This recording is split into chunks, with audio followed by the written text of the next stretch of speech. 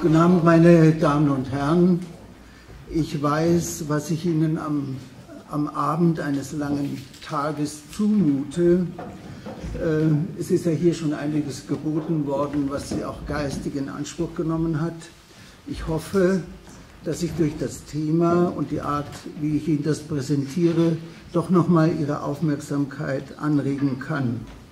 Als ich das Thema mit Frau Nickel abgesprochen hat, habe, hat sie gefragt, wollen Sie ein Fragezeichen hinter die Feststellung, hinter, die, hinter den ersten Satz stellen? Eine Armee ohne Tradition? Fragezeichen. Ich habe kein Fragezeichen dahinter gestellt, also infolgedessen ist es eine Feststellung, die ich heute hier treffen will. Ich, ich weiß, ich, ähm, ich muss zwei Dinge vorausschicken. Das erste, ich muss gemeinsam mit Ihnen doch relativ, relativ tief in die militärischen Strukturen und in die Denkweisen eindringen. Und das Zweite, ich muss doch auch sehr stark an Ihr Erinnerungsvermögen, was die vergangene Zeit betrifft, appellieren. Nun zur Einführung. Sicherlich waren die immer noch andauernden Diskussionen über den behaupteten Rechtsextremismus in der Bundeswehr, festgemacht auch an der Frage der Traditionswürdigkeit der Wehrmacht für unsere Armee, sowie der folgende Exorzismus von allem, was man entfernt in die Nähe von rechts rücken könnte, ein Anlass für den Vorstand, das eben angesprochene Thema auf die Tagesordnung unseres Jahreskongresses zu, zu setzen. Dahinter steht die Frage, welche die Bundeswehr seit ihrer Aufstellung 1955 begleitet hat.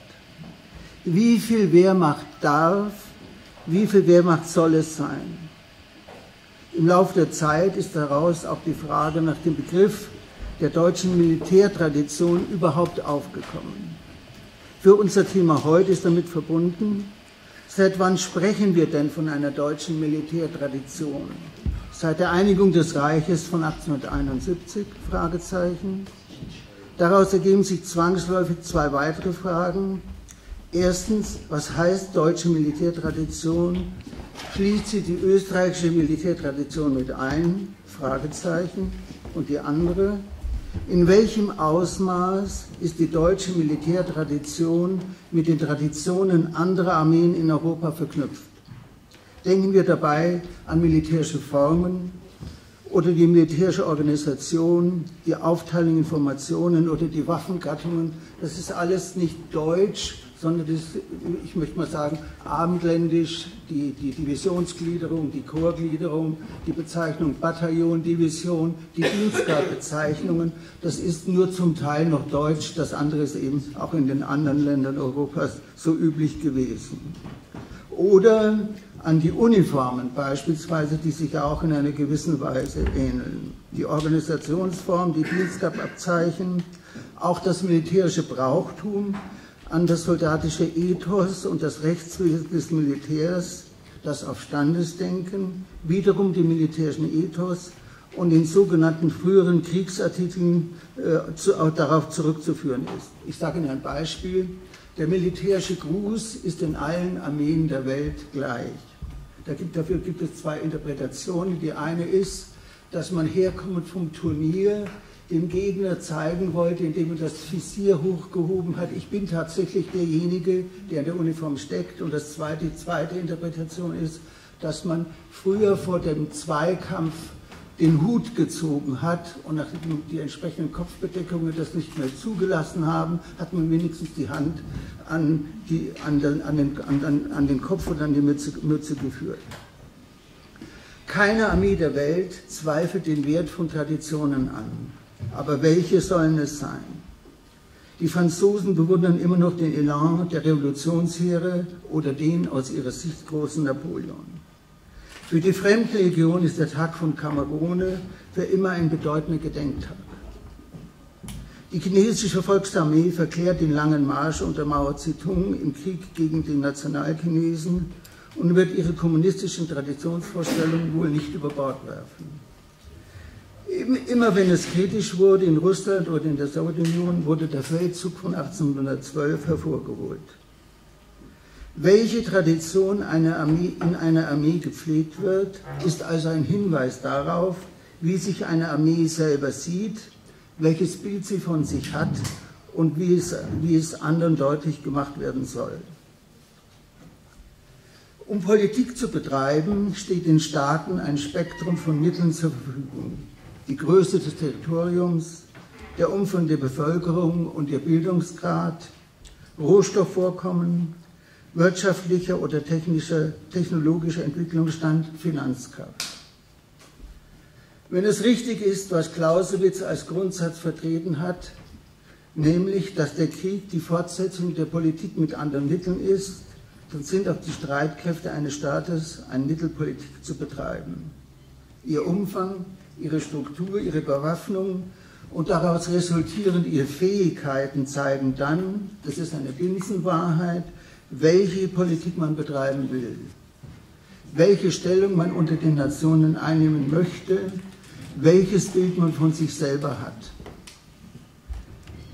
Der Wert von Streitkräften liegt da, dabei nicht nur in der Verwendung im Kriege, obgleich dies die letzte Messlatte ist. Auf den Kanonen im Zeitalter des Absolutismus stand Ultima Ratio Regis, das heißt, der letzte, das letzte Wort des Königs. Und das ist, deutet eben auch darauf hin, wo der eigentliche Daseinszweck einer Armee liegen muss. Streitkräfte wirken aber bereits durch ihre Existenz zur Power Projection, wie man heute sagt, oder, oder zur Bündnisfähigkeit. Hier erinnere ich an ein altes deutsches Wort, hast du was, dann bist du was. Einsätze außerhalb des Landes, richtig verstanden, zur Wahrung deutscher Interessen, zum Schutz von Verbindungslinien, auch für humanitäre Einsätze und Landesverteidigung sind kein Gegensatz, kein Entweder-Oder, sondern eine Frage der Priorität. Auch hier gibt es eine unverzichtbare Messlatte. Die Fähigkeit zur Verteidigung des eigenen Staatsgebiets gegen Bedrohungen von außen die Sicherheit der Bürger, dabei ich, beziehe ich ausdrücklich die innere Sicherheit mit ein und die Bewahrung der herkömmlichen angestrebten Lebensform. Was bedeuten Tradition und Traditionspflege? Nicht nur das Militär sieht sich veranlasst, zur Unterstützung des eigenen, der eigenen Zwecke Traditionen aufzubauen und sie, und sie zu pflegen. Die katholische Kirche, Justiz, die Studentenschaft haben wir heute gehört, das Handwerk, Wirtschaftsunternehmen, Fragezeichen. Aus Asien ist zu uns das Stichwort gekommen, rübergekommen, der Corporate Identity. Das heißt also, dass auch der Angestellte eine innere Beziehung zur Firma und zum Produkt haben muss. Was hat man im Allgemeinen unter Traditionen zu verstehen? Wir wissen es alle, aus dem lateinischen Traditio abgeleitet bedeutet das Wort Tradition Weitergabe oder Überlieferung.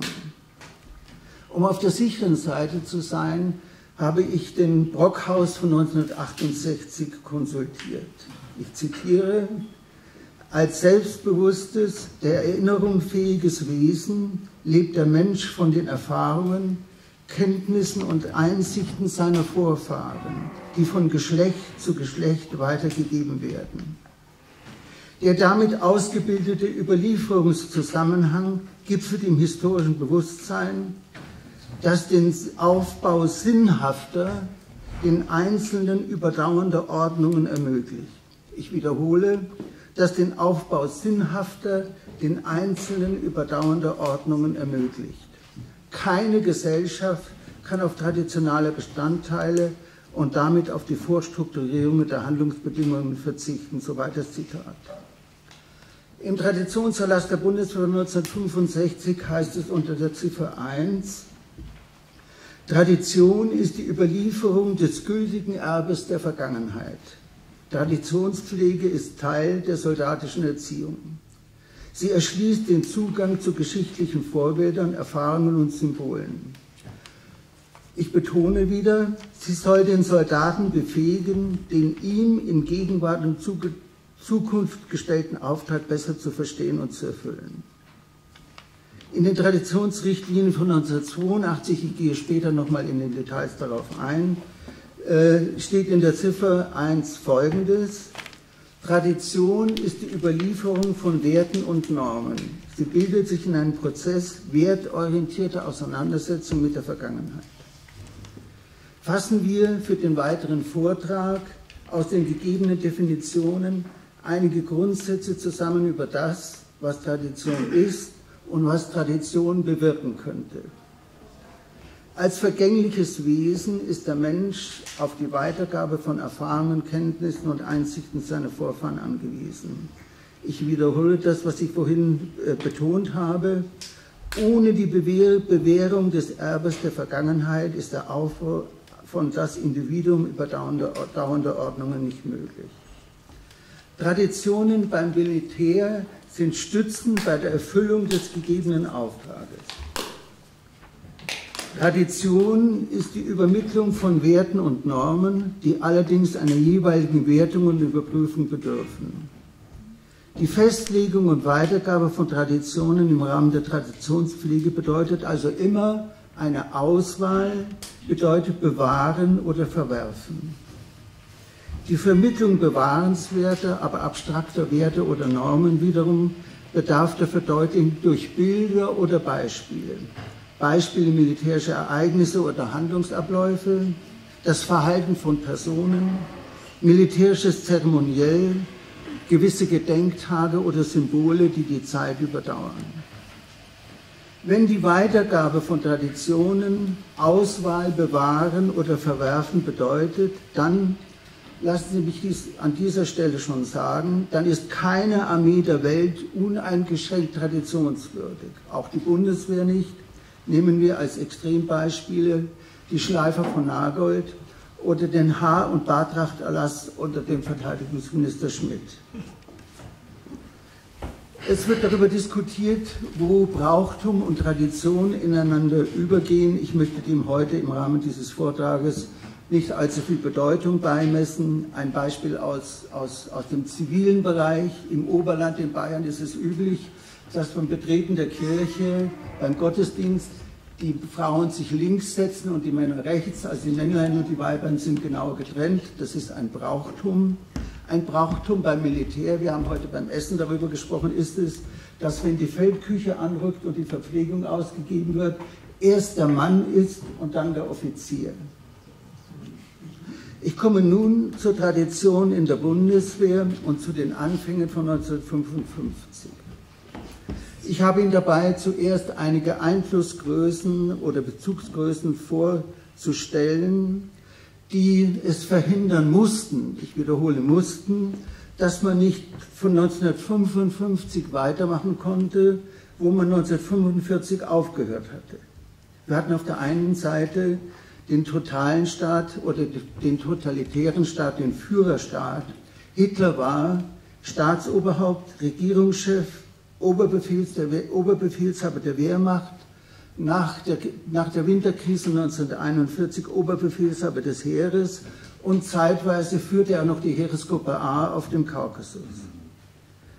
Dagegen ist unser Bild in einer parlamentarischen äh, äh, Demokratie die Einbindung der Streitkräfte in die Exekutive sowie die Kontrolle durch das Parlament. Ein weiterer wesentlicher Einflussfaktor, der beim Aufbau der Bundeswehr berücksichtigt werden musste, war die ideologische und geistige Konfrontation während des Kalten Krieges. Zwei weitere wichtige Faktoren. Wenn ein Krieg in Europa stattgefunden hätte, dann wäre dies ein Krieg im eigenen Land gewesen, wobei ich die DDR mit als eigenes Land bezeichne. Und das Kriegsbild schloss die Möglichkeit des nuklearen Krieges ein. Aus beidem war eine Folgerung zu ziehen. Im Vordergrund stand die Kriegsverhinderung durch Abschreckung. Daneben war die Bundeswehr aufgrund bestimmter Bedingungen eine Bündnisarmee, keine nationale Befehl, nicht unter, dem Nation, unter einem nationalen Oberbefehlshaber. Sie war in die Kommandostruktur der NATO einbezogen. Und es gab eine weltweite Konfrontation, in der die Bundeswehr nicht alle Aufgaben aus eigener Kraft erfüllen konnte und dabei der Abstützung auf Bündnispartner bedurfte. Nun zur Zielsetzung beim Aufbau 1955. Die Zielsetzung war die Abgrenzung zur Wehrmacht. Das begann bereits beim äußeren Bild, bei der Uniform, möglichst hässlich, möglichst wenig soldatisch. Der Stahlhelm, den deutschen Stahlhelm durften wir erst wieder nehmen, als die Amerikaner zum Fritz zurückgekehrt waren. Dann war auch dieser Stahlhelm für uns wieder vermittelbar. Am Kampfstiefel, dem ehemaligen Knobelbecher, musste die sogenannte Demokratieschleife angebracht werden, damit man unseren Kampfstiefel nicht mit dem Knobelbecher der Wehrmacht verwechseln konnte. Man war angeblich und praktisch bemüht, das Spannungsverhältnis zwischen pluralistisch verfasster Gesellschaft und autoritär organisierter Armee zu minimieren oder aufzuheben. Das bedeutete aber nicht Anpassung an die, an die moralischen Zielgrößen einer Armee, sondern die Anpassung an das Zivile. Man sprach vom Staatsbürger in Uniform und von der sogenannten inneren Führung. Man war aufgrund der Geschichte nach 1945, die Frage der Wiederbewaffnung, der Ohne-Mich-Bewegung und eben dieser Faktoren, die die Durchführung des Auftrages in Frage stellten und ihre moralische, und ihre moralische Berechtigung in Frage stellte, darauf angewiesen, Schlagworte zur Rechtfertigung der eigenen Existenz und des eigenen Tuns zu bilden oder zuzulassen. Man sagte, kämpfen können, um nicht kämpfen zu müssen. Man sagte, Soldat ist ein Beruf wie jeder andere und man sagte, Streitkräfte sind ein notwendiges Übel. Wer dient schon gerne in einer Armee, die sich selbst als notwendiges Übel bezeichnet? Ich komme zu einigen Faktoren der Realität. Die Zwänge des militärischen Alltages zwangen sehr schnell an, zur Abkehr von bestimmten äh, Vorstellungen, was, wie die neue Bundeswehr gestaltet werden sollte, äh, sein sollte. Dar, dar, darüber hinaus ergab sich sehr schnell die Frage, wo ist denn als Voraussetzung für den Staatsbürger in Uniform, wo finde ich denn den Staatsbürger in Zivil? Dazu gab es bestimmte Forderungen an eine Bündnisarmee in Bezug auf das Ethos, die sogenannte Interoper Interoperabilität. Das heißt, wir mussten auch Abstriche am Nationalen machen durch die Vorstellungen der anderen. Die, beispielsweise die Frage der Panzerwaffe oder äh, was die Gefechtsarten betrifft, wir hatten eine ganz andere Vorstellung aufgrund unserer Erfahrungen im Zweiten Weltkrieg, wie man Panzer einsetzt, als beispielsweise die Amerikaner. Und hier mussten Kompromisse gefunden werden. Es ergaben sich sehr schnell Spannungen zwischen Traditionalisten und sogenannten Baudessinisten nach dem Schöpfer der inneren Führung, dem General Graf Baudissin. Und es begann, ich habe es noch miterlebt, 1960, eine gewisse Restauration. Hier müssen wir auch ein bisschen auf das umgebende Umfeld äh, äh, schauen. Ich nenne Ihnen einige Namen. Mende, der Vorsitzende der FDP, lief bei Bällen in Bonn mit dem Ritterkreuz herum. Der, äh, der Intendant des ZDF und später Staatssekretär im Verteidigungsministerium Karl, äh, wie heißt der, Karl Günther von Hase war auch Ritterkreuzträger gewesen. Schmidt, wurde vorhin schon genannt, war Oberleutnant. Schiel war Jagdflieger gewesen. Wildermuth, der erste Wohnungsbauminister im Kabinett ähm, äh, Adenauer, war Regimentskommandeur in Italien. Und so waren eben noch Leute da, die unausgesprochen oder ausgesprochen ihren Einfluss ausübten. Das betraf in erster Linie Einflüsse auf das äußere Erscheinungsbild. Mir hat der Fritz Rudolf Schulz, Eichenlaubträger, mal gesagt, dass er unter Carlo Schmidt der im Krieg äh, Kriegsgerichtsrat gewesen war, dass die dafür gesorgt haben, dass wir eine Uniform bekommen haben, langsam mit dem Viertaschenrock in Anlehnung an die Uniform der Wehrmacht, damit man sich in der Öffentlichkeit außerhalb der Kaserne überhaupt sehen lassen konnte. Und so gab es mehrere Schritte, die nacheinander erfolgt, erfolgten. Als ich Leutnant wurde 1963, war eine solche große Welle wieder der, der Herstellung einer Uniform, die man wirklich tragen und anziehen konnte. Und dann kam Anfang der 70er Jahre die Einführung des Baretts bei der Panzertruppe, der schwarze Barett. Äh, da drüben sitzt ein Panzeraufklärer, nämlich der Oberstleutnant Zipf. Und wenn es bisher eine, eine, etwas Schuldiges beim Militär, wenn es bisher üblich war, die graue Jacke immer heller zu machen, dass sie beinahe weiß wurde und die Hose dunkler, so hat jetzt sofort die Panzertruppe angefangen, Jacke und Hose möglichst schwarz zu machen, dass sie der Uniform der Panzertruppe in der Wehrmacht geglichen hat. So sind eben die Militärs. So sind die Militärs. Ich schildere Ihnen nun einige Entwicklungen über die Zeit und das teile ich ein in zwei Abschnitte. Zwischen 1956 und bis einschließlich der sozialliberalen Koalition 1969 1956 deswegen, weil da die ersten Wehrpflichtigen einberufen worden, worden sind. Der zweite Abschnitt ist dann Beginn mit der Regierung Kohl. Ich schmeiße Ihnen jetzt einige Schlagworte an den, an den Kopf. Das Iller-Unglück 1957, äh, damals eine, eine unglaubliche Aufregung berechtigter Art in unserem Volk.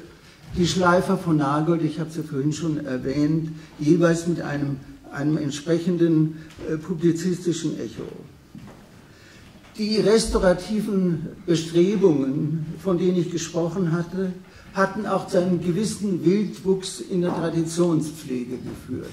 Jeder macht in gewisser Weise, was er wollte, weil es eben keine Richtlinie von oben gab. Ich sage zwei Beispiele. Bei der Panzeraufklärungsgruppe führte ein Kommandeur in Munster den Schwede Adler wieder als Wimpel ein. Und dann gab es natürlich auch unüberlegte Handlungen.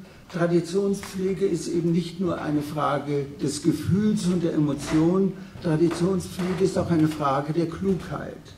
Und da muss man sich schon die Frage stellen, wo waren diejenigen, die Anfang der 60er Jahre eine Kaserne in Wittenwald nach dem General Kübler benannt, benannt haben, der in Jugoslawien hingerichtet worden war. Wobei ich nicht sage, dass das ein gerechtfertigtes Urteil war, sondern ich frage nur, muss man sich diesen Mann gerade als Traditionsvorbild aussuchen? Und die Quittung hat man später dafür bekommen.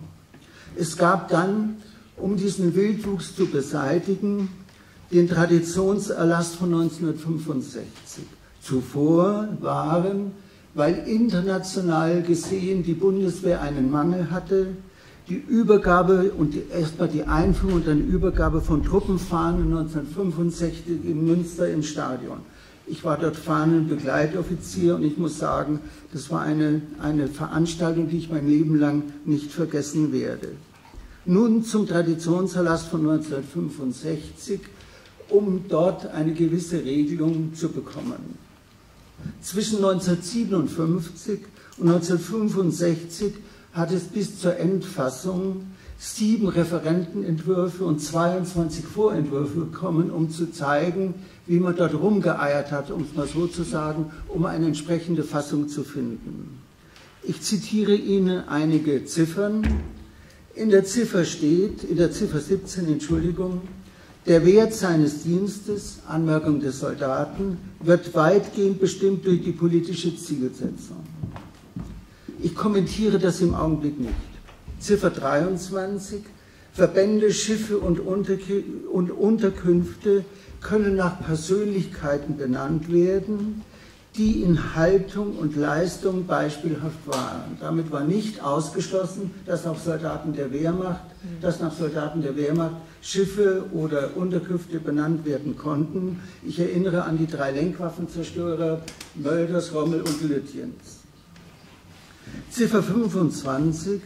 Bei besonderen Veranstaltungen können Fahnen ehemaliger Truppenteile von der Bundeswehr begleitet werden, wenn die Truppenfahne geführt wird. Zum Schluss Ziffer 26.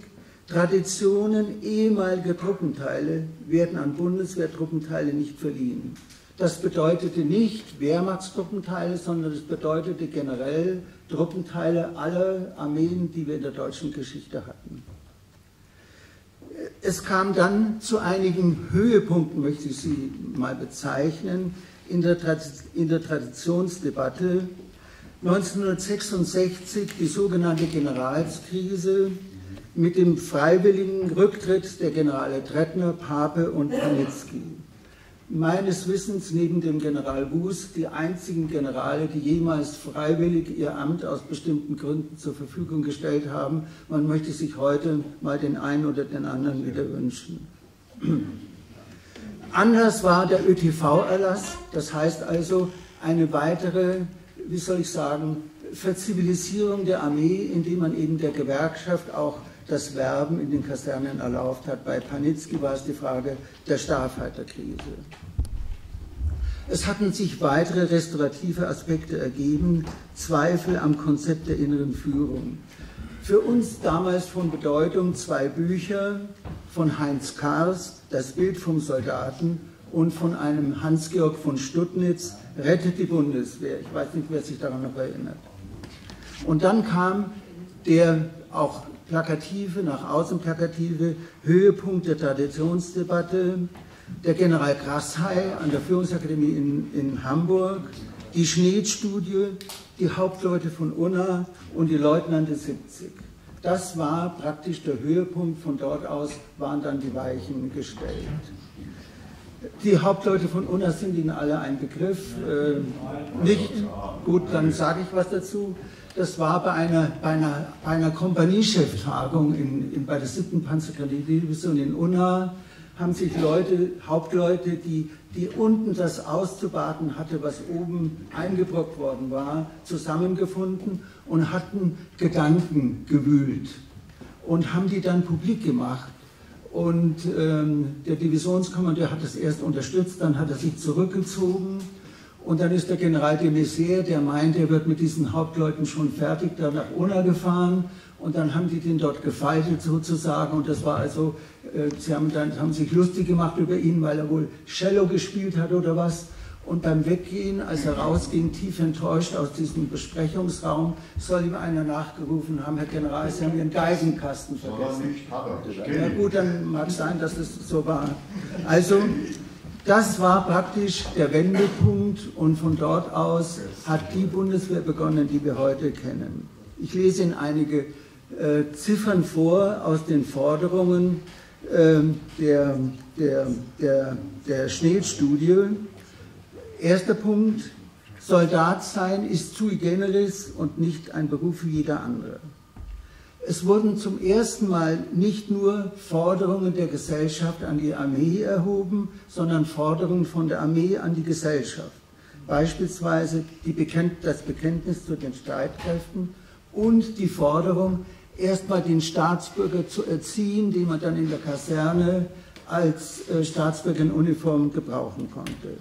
Sie forderten eine Reform, Zitat an Haupt und Gliedern, Sie forderten ein Traditionsverständnis, das alle Phasen der deutschen Militärgeschichte einschließt. Und erstaunlicherweise, da kommen wir dann auf die heutige Situation in meinen Abschluss äh, schon mal kurz zu sprechen oder eine Andeutung dazu. Sie forderten, dass von der Reform der Bundeswehr ausgehend auch eine Reform der Gesellschaft einsetzen sollte. Das heißt so nicht immer nur die Wirkung von einer Seite auf die andere, sondern eben auch, auch umgekehrt. Es kam dann, wie vorhin geschildert von Herrn Gandil, der Übergang zur Regierung Brandt-Scheel. Grashey und Kars, die Verfasser der Studie, wurden sofort entlassen. Und für die anderen Verfasser Schneetz, General Schall und so weiter bedeutete das ein Karrierestopp. Dann kam der ehemalige Oberleutnant der Luftwaffe Helmut Schmidt, der dann äh, gewisse andere Reformen in eine andere Richtung wieder einleitete, Änderung der Stellung des Generalinspekteurs und er berief vor allen Dingen die sogenannte Elwein-Kommission ein, die dann darin mündete, dass Bundeswehrhochschulen gebildet wurden und dass die Voraussetzung, um Offizier zu werden, ein Studium war. Aber nicht ein militärfachliches Studium, wie wir das alle gewollt hätten oder auch akzeptiert hätten, sondern nach dem föderalen Bildungssystem musste das ein Studiengang sein, der genau den zivilen Studiengängen äh, entsprach. Und die Studenten waren möglichst frei im Campus. Sie tragen heute noch keine Uniform beim Studium, sondern sie tragen zivil. Eine, ein weiterer Schritt zur Verzivilisierung. Die Zeit, obwohl das hier von Herrn Kandel ein bisschen länger geschildert wurde, der Regierung äh, Brandt, Schmidt, äh, Scheel-Genscher, war relativ kurz und vor praktisch zwei Tage vor dem Regierungswechsel 1982 gab der damalige Minister Apel eine weitere Traditionsrichtlinie heraus. Er nannte sie auch nicht mehr Traditionserlass, sondern Traditionsrichtlinie. Maßstab für das Traditionsverständnis und die Traditionspflege gemäß Ziffer 2 ist das Grundgesetz. Ziffer 6, ein Unrechtsregime wie das Dritte Reich kann Tradition nicht begründen. Da komme ich nachher nochmal darauf zu sprechen. Darauf zu sprechen.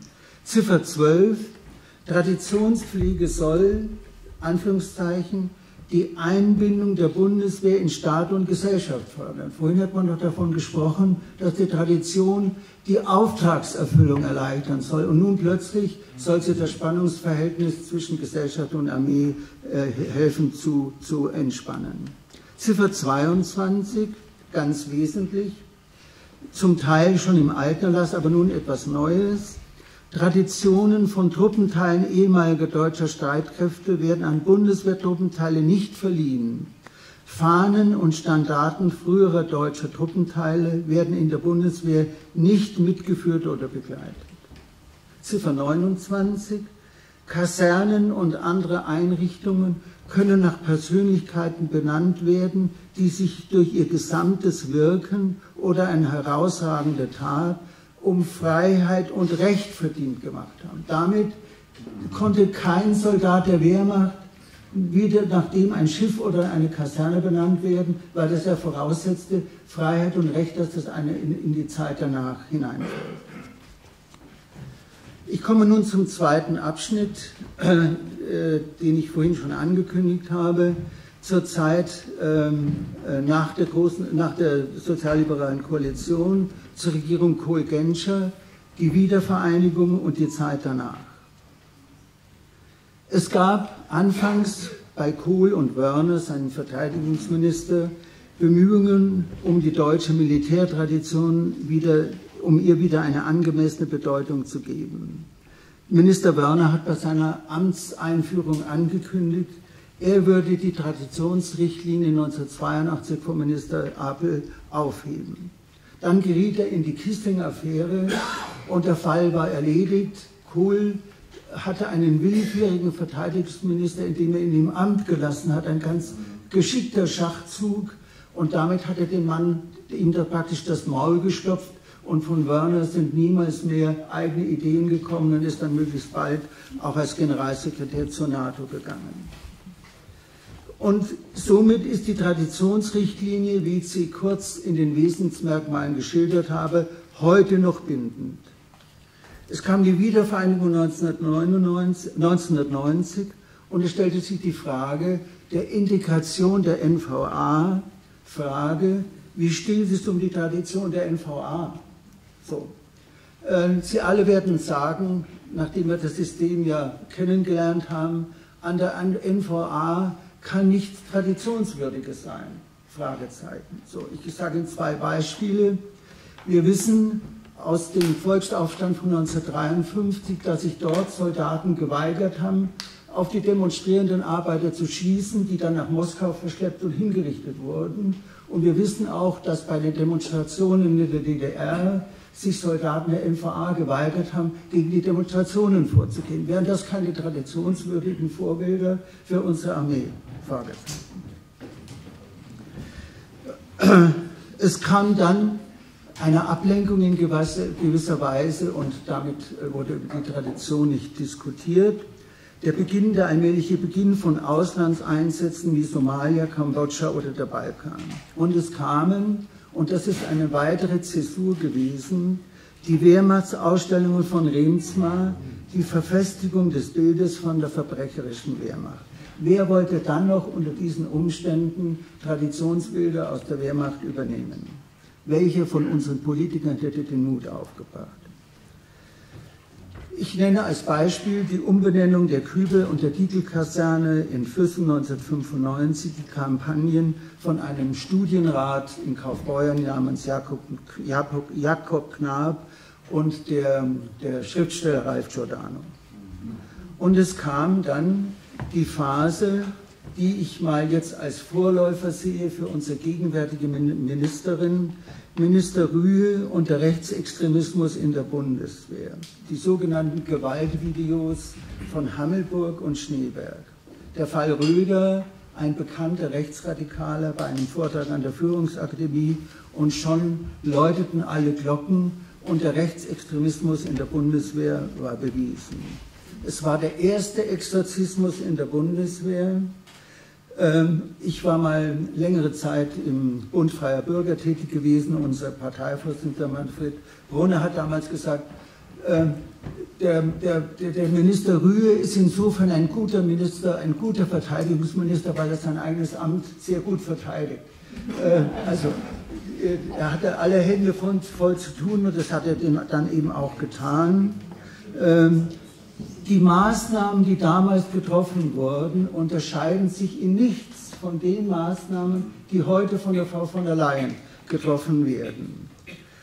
Zwei Beispiele oder ein Beispiel, was die innere Führung, oder besser zwei Beispiele, Entschuldigung, die beiden Generale von Scotti, der zuständige Divisionskommandeur in, äh, in Leipzig und der zuständige Brigadekommandeur namens Günzel, wurden entlassen oder nicht, nicht entlassen wurden, versetzt wegen des Gewaltvideos in Schneeberg, obwohl sie zur Zeit der Entstehung dieses Videos überhaupt nicht im Amt gewesen waren.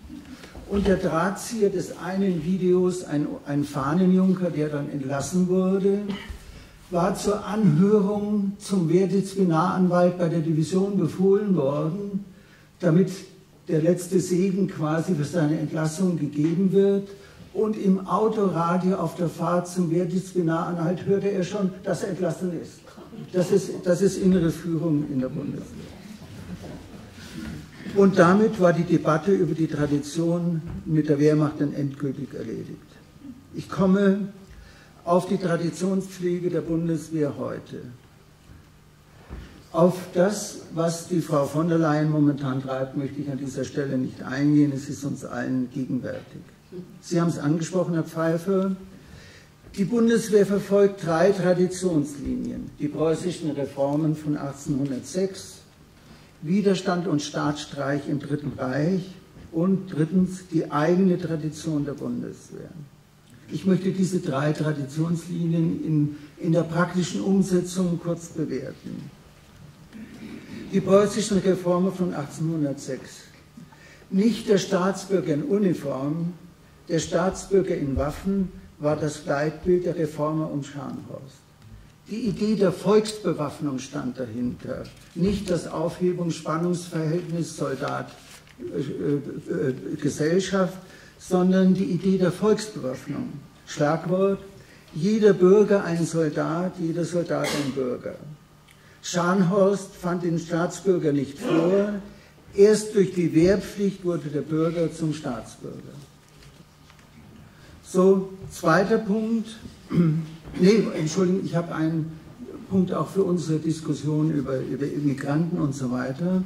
Aufgrund der Personalnot in den Streitkräften strebt die Frau von der Leyen vermehrt die Verwendung Migranten in der Bundeswehr an und sieht dies als ein Mittel der Integration. Gleichzeitig möchte sie den Anteil der Frauen in der Bundeswehr erhöhen und nach dem Gleichstellungsgesetz sollen möglichst viele Frauen in Führungspositionen einrücken. Jetzt treffen die Migranten auf die Frauen in den Führungspositionen. Und das, was daraus entsteht, das können Sie sich vorstellen. Um, um auf den nächsten Punkt einzugehen, möchte ich Ihnen gerne ein, ein, einige Sätze als Zitat vorlesen. Die Überschrift lautet, wir glauben an die Zukunft der Deutschen. Erster Absatz, Wir wissen im Deutschen die Kräfte, die ihn berufen, die Gemeinschaft der abendländischen Völker zu schönerem Leben zu führen. Zweiter Absatz. Wir bekennen uns im Geist und in der Tat zu den großen Überlieferungen, äh, Überlieferungen unseres Volkes, das durch die Verschmelzung hellenischer und christlicher Ursprünge im germanischen Wesen das abendländische Menschentum schuf. Dritter Absatz. Wir wollen eine neue Ordnung, die alle Deutschen zu Trägern des Staates macht und ihnen Recht und Gerechtigkeit verbirgt, verachten aber die Gleichheitslüge und fordern die Anerkennung der naturgegebenen Ränge. Vierter Absatz. Wir wollen ein Volk, das in der Erde der Heimat verwurzelt den natürlichen Mächten nahe bleibt, das im Wirken in den gegebenen Lebenskreisen sein Glück und seine Genüge findet. Das ist der Schwur, den Klaus von Stauffenberg und sein Bruder Berthold entworfen hatten. Und ich sage, die Schnüffler und Denunzianten in der Bundeswehr haben das bisher nur noch nicht gefunden. Wenn sie das finden würden, dann wäre Stauffenberg auch kein, äh, kein, kein Traditionssymbol mehr für die Bundeswehr. Zum 20. Juli. Ich kenne die Meinung von vielen hier im Saal die dem 20. Juli skeptisch gegenübersehen stehen und ähm, sagen, das war Verrat am deutschen Volk und äh, das war dem Führer sozusagen in den Rücken gefallen. Ich bin der andere Meinung. Preußischer Gehorsam war nie ein bedingungsloser äh, Gehorsam und war immer an die Antwort von oben gebunden. Und ähm, ich kann nicht, wenn ich heute, oder sagen wir nicht wir, wenn in bestimmten Kreisen die Frage erörtert wird, ob gegenüber diesem System, in dem wir leben, nicht auch Widerstand und Revolution angebracht ist. Dann kann ich nicht, dann, dann kann ich nicht auf der anderen Seite sagen, die Leute vom 20. Juli sind Volksverräter gewesen. Das ist eine, eine freie Entscheidung, die jeder treffen muss. Und natürlich muss derjenige, der das wagt, mit seinem Leben und mit seinem Haupt dafür gerade stehen. Unter diesen Umständen sehe ich den 20. Juli. Ich komme als äh, letzten Punkt äh, oder sagen wir als vorletzten Punkt zur eigenen Tradition der Bundeswehr. Und dazu möchte ich Ihnen auch wieder zwei Beispiele geben. Äh, die Umbenennung des Geschwaders Mölders durch den Minister Struck und die Umgestaltung des Ehrenhains der Panzertruppen im Munsterlager ich weiß nicht, durch wen das eigentlich war. Ja, ich war da Richthofen. Weil das habe ich ja gerade Richtung. Richthofen. Wird das jetzt auch? Aber das gibt's noch. Also, also Richthofen ist jetzt nur noch eine Gruppe in einem anderen Geschwader. Na gut, okay. Aber äh, der Förderer des Ehrenhains in Munster war der damalige General de Maizière. Was an den Fakten hat sich von damals zu heute geändert, dass damals der Ehrenhain tolerabel war und heute ist es nicht mehr. Kein einziges Faktum hat sich geändert, nur die Betrachtungsweise und die Anschauung darüber. Es gibt, äh, na, lasse ich das jetzt im Augenblick weg, zur eigenen Tradition der Bundeswehr. Keine Armee der Welt missachtet ihre eigene, ihre eigene Tradition so stark, wie das die Bundeswehr tut. Wir haben, ich kenne eigentlich die Bundeswehr immer in der Umorganisation von Struktur zu Struktur. Die neue Struktur wurde schon begonnen, bevor die alte vollendet war. Und jedes Mal war das ein organisatorisches Chaos, verbunden mit Namensänderungen, Truppenverlegungen und so weiter. Und ähm, dazu möchte ich Ihnen zwei Beispiele geben. Die Infanterieschule in Hammelburg, die stolz das Wappen der Infanterieschule von Döberitz getragen hat, heißt mittlerweile Ausbildungszentrum für Infanterie und noch irgendwie was UNO-Einsätze. Mein Fallschirmjägerbataillon 262, das älteste Fallschirmjäger der Bundeswehr, äh, das war das Bataillon mit dem Iller-Unglück, war schon, sagen wir mal, ab 1967 in sogenannten Auslandseinsätzen in der sogenannten AMF-Brigade. Dort waren wir an die 20 Jahre. Dieses Bataillon wurde erst zu einem blauen, zu einem Logistikbataillon umgewandelt, was das für ein Fallschirmjäger bedeutet. Weiß ich nicht, ob Sie sich das vorstellen können. Äh, das ist äh, wie ein Aufklärer, der, was weiß ich, Pionier wird oder so. Und ein, ein Kontrabeispiel dazu. In Pforzheim lag, bis das Regiment zurückverlegt wurde nach Frankreich, das 11. Husarenregiment der französischen Armee das sogenannte Esther, die Esterhazy-Husaren, die schon im französischen Königreich, also vor 1789, gegründet worden waren. Dieses Regiment hat fünf französische Republiken, zwei Kaiser, den Napoleon und, den, und seinen Neffen, überstanden und ist immer ein modernes Regiment geblieben. Die Soldaten trugen vielleicht Sporen an den, an den Stiefeln, aber sie fuhren moderne Panzeraufklärungsfahrzeuge. Ich will an diesem Beispiel sagen, dass man sehr wohl Tradition bewahren und modern sein kann. Übernahme von Traditionen aus der Wehrmacht. Ich wiederhole nochmal, ein Unrechtssystem wie das Dritte Reich kann Traditionen nicht begründen. An anderer Stelle ist man nicht so genau. Am 3. Mai-Sonntag 1934 wurde der Muttertag, der aus Amerika rübergekommen war, als staatlicher gesetzlicher Feiertag eingeführt durch Wien, durch die Nationalsozialisten. 1933 wurde der Tag der Arbeit, der 1. Mai, der aus der Arbeiterschaft in England entstanden war, als offizieller gesetzlicher Feiertag in Deutschland eingeführt. Ist das Tradition oder ist das nicht Tradition? Eine militärische Tat, eine Handlungsweise, die dem, dem, die dem soldatischen Ethos genügt, bedarf nicht der Bestätigung durch die Politik, der sie implizit dient. Sie wird auch umgekehrt nicht durch die praktizierte Politik in Frage gestellt. Ich gebe Ihnen einige Beispiele. Die Soldaten, die gegen die anstürmende Rote Armee Schlesien, Pommern oder Ostpreußen verteidigten und den Menschen die Flucht nach Westen ermöglichten, einschließlich der Besatzungen der Schiffe, die bis zum 9. Mai 1945 die Evakuierungen über See sicherstellten, sind meines Erachtens uneingeschränkt traditionswürdig. Bei bei der Versenkung des Schlachtschiffes Bismarck passierte Folgendes. Da trieben die Überlebenden der Bismarck, ich glaube so 120, 130 Mann, trieben im Wasser Öl beschmiert. Der Atlantik war kalt. Und auf einem Kreuzer namens Dorsetshire entdeckte man einen deutschen Seemann, dem beide Arme abgerissen worden waren. Man warf dem Mann ein Seil zu, das konnte er wegen der fehlenden Arme nicht mehr halten, hat es mit den Zähnen versucht festzuhalten.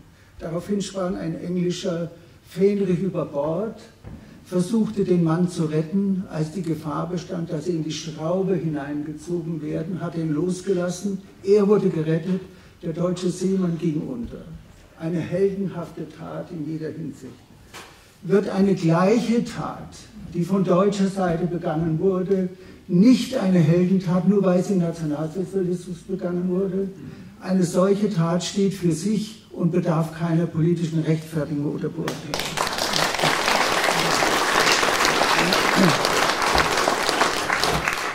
Im St. Elisabeth Hospital in Arnheim wurden deutsche und britische Verwundeten gemeinsam durch den Truppenarzt Dr. Skalka auf Weisung des Divisionsführers der Division Hohenstaufen, Sturmbannführer Harzer, versorgt. Ein Vorbild für uns heute alle.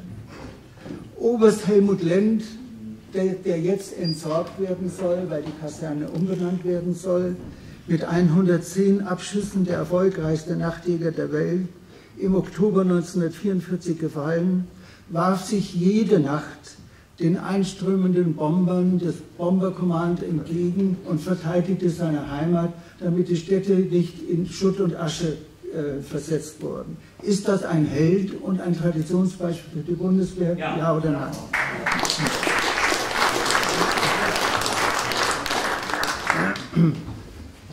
Kommen wir zwei, zu zwei Feststellungen aus der Einführung zurück, damit bin ich am Ende. Wir hatten angesprochen, dass man aus der praktizierten Politik Rückschlüsse ziehen kann, welche Vorstellungen eine, eine Nation, ein Volk von sich selbst hat. Und weiter, dass sich aus dem Zustand der Armee Rückschlüsse auf den Zustand oder die Identität der Nation ergeben, der sie dienen soll.